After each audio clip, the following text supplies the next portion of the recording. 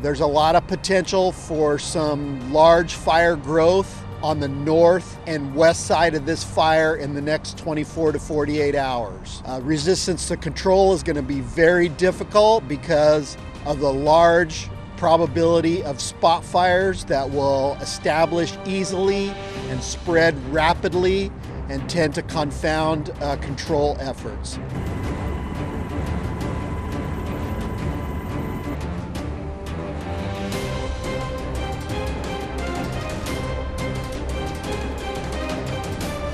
Goal of the uh, operation this evening is the same as it was earlier today. It's to keep that fire in the box that it's been in since this afternoon. We're uh, attempting to prevent the fire from jumping west to the 405.